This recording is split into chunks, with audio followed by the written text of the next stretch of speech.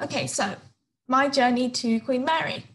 So I had a bit of a weird journey when I first started here. I actually wanted to study medicine or dentistry or anything in the medical field when I uh, when I was doing my A levels. Um, I studied biology, chemistry, and maths, and I also did an AS level back when AS levels actually existed um, in economics.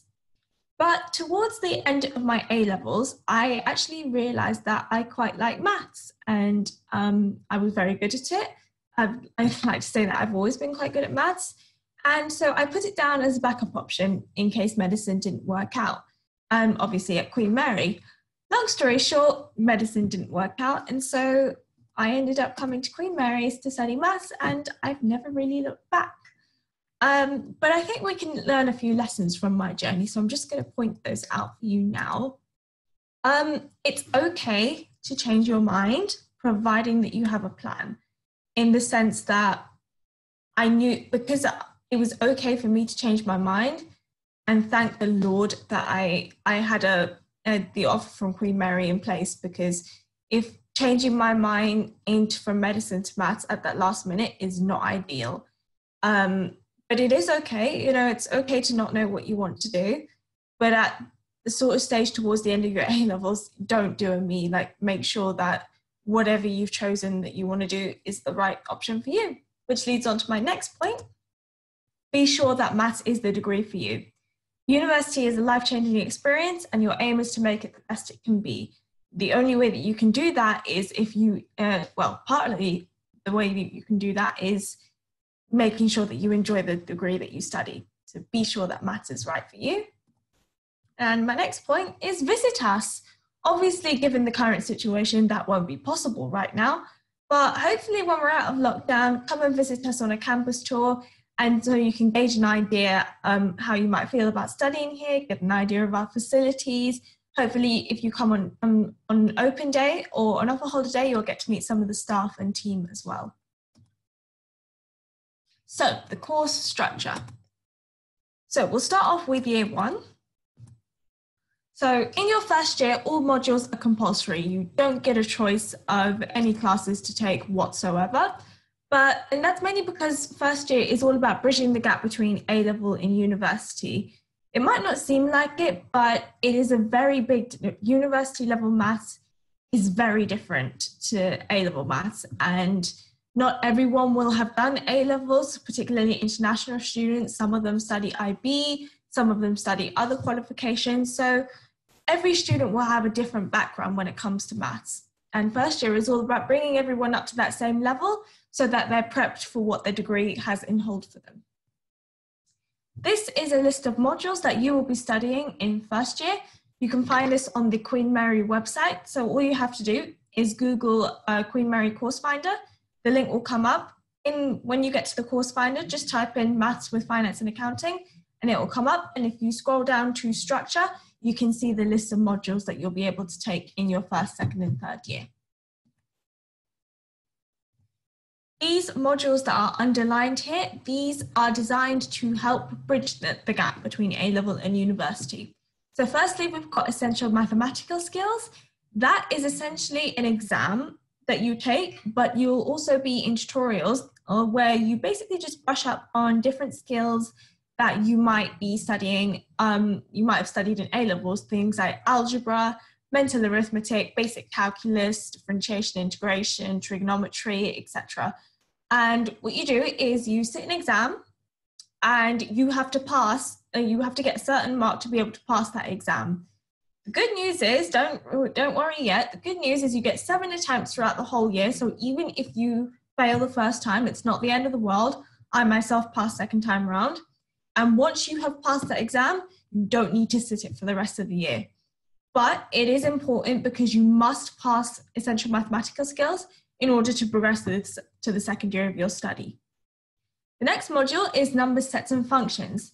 Now, this module is basically just introducing you to some of the, uh, the fundamental concepts of university level mathematics, and it also teaches you a certain, uh, a certain set of skills that you'll need throughout your degree, such as how to explain mathematics to someone, how to read it, how to write it properly in a way that an academic can understand, and it also and you'll be learning about things like number systems, logic, um, yeah, things like things like that um, to get you started off um, with studying university level maths.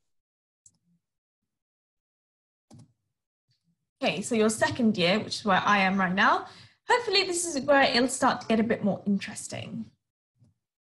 So, in your second year, five modules that you'll sit, obviously this depends on your degree, five of the modules that you'll sit are compulsory, and you have three choices available. This is the general pathway. Some people choose to take two, two modules and some people choose to take one. This is because of the number of credits that each module is worth. I'm not going to go into too much detail about that right now because it is very confusing. But the university, when it comes to choosing your modules, the university does make it a lot easier by giving you certain study guides and a whole email explaining how the process works. So, like I said, I won't go into too much detail about that now, but just to give you an idea, ah, yes, I should probably mention you. The good thing about Queen Mary is that you have the flexibility to take classes from any department um, of, of Queen Mary. So if you have other interests such as the arts, history, or languages, as most people choose to take, including me, you can do that if you if you want to. The only exception is you cannot choose a class from the School of Business and Management or Economics and Finance.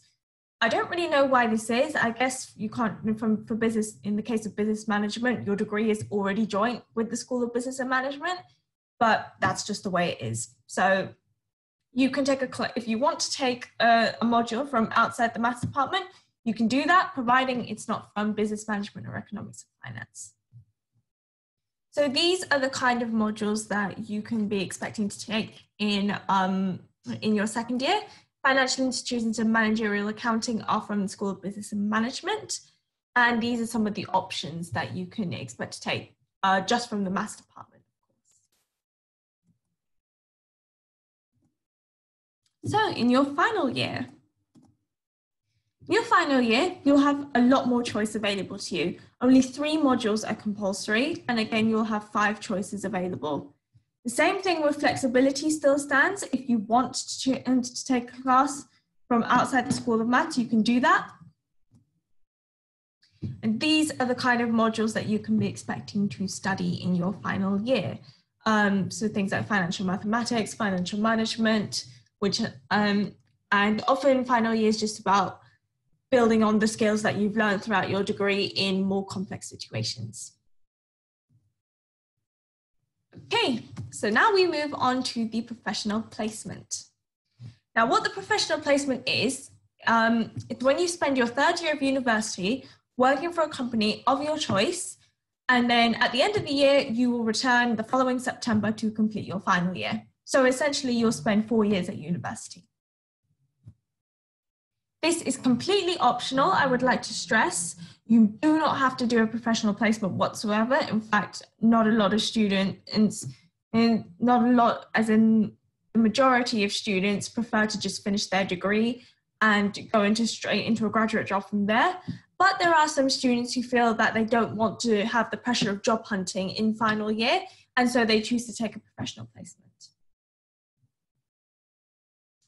It does not count towards your final degree grade, but like as I mentioned before, it does form part of your degree title. So my degree title will be Mathematics with Finance and Accounting with a professional placement because I've chosen to take one.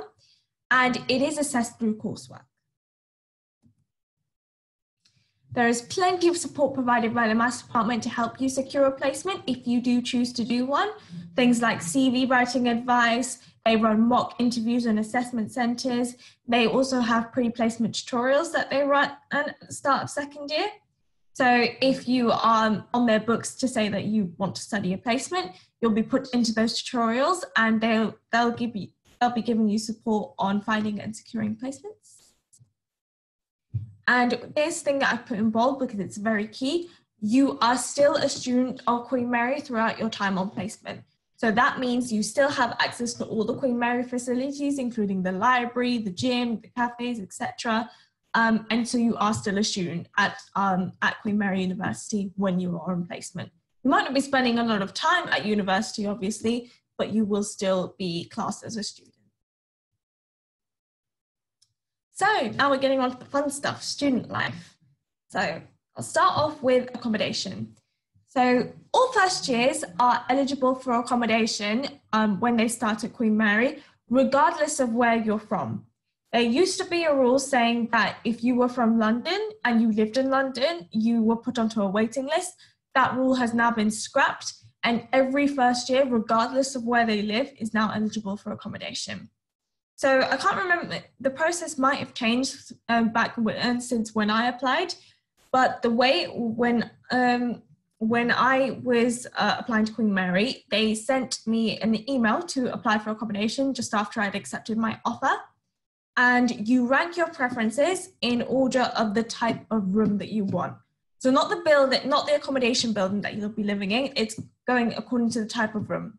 So whether that's a standard room, a slightly bigger room, whether you want an ensuite bathroom, all things that there's all those things that you need to consider and then you just and it's essentially a case of you you get what you're given but i really enjoyed living in in accommodation. It was how i'm uh, living out was how i made a lot of my friends in the first year and i'm still in touch with a few of them now.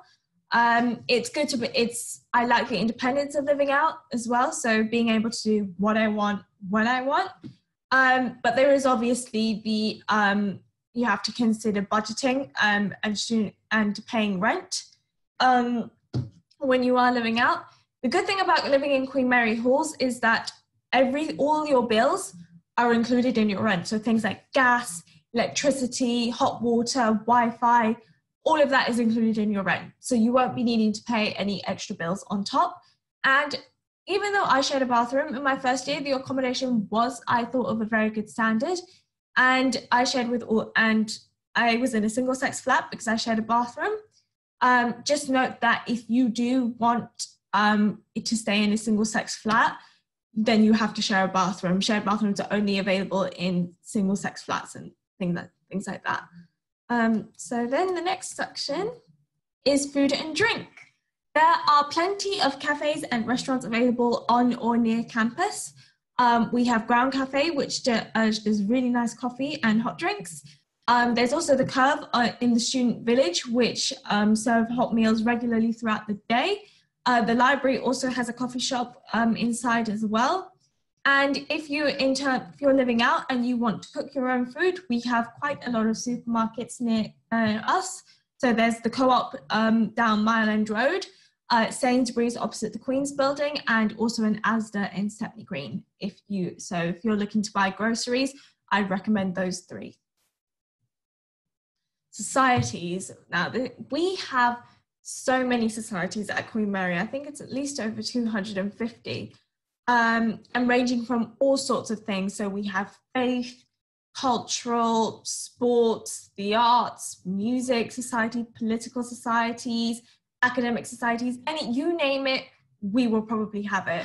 Um, and at the start of when you come and study with us, at the start um, of the semester, you will be experiencing something called Welcome Week, which is essentially the Queen Mary name for freshers.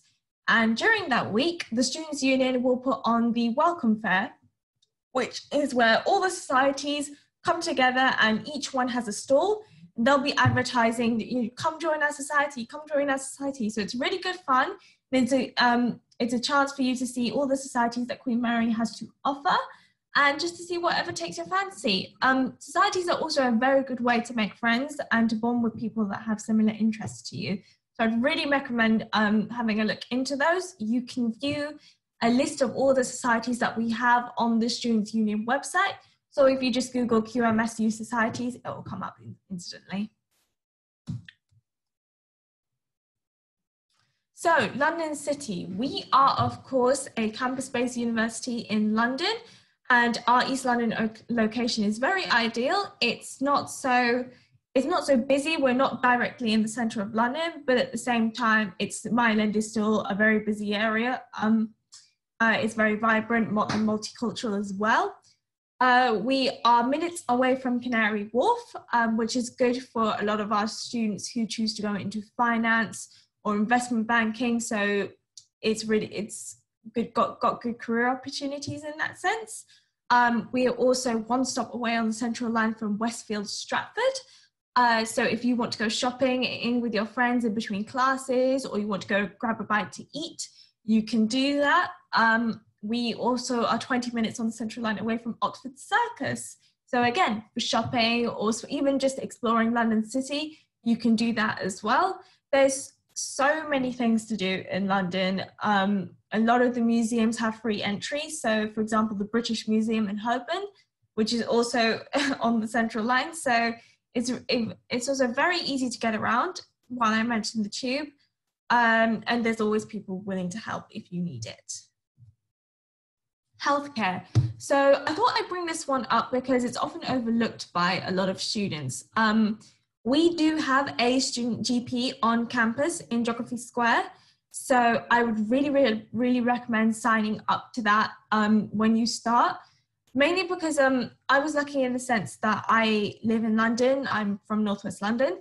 So um, if I was feeling unwell or if I needed to visit my GP, it wasn't that it wasn't that hard for me to just travel home and go and visit my GP. For international students or students that don't live in London, it's not so easy. So at least if you're signed on to the GP here, in the in should the occasion arise that you do need it, you can just go on campus to visit the GP.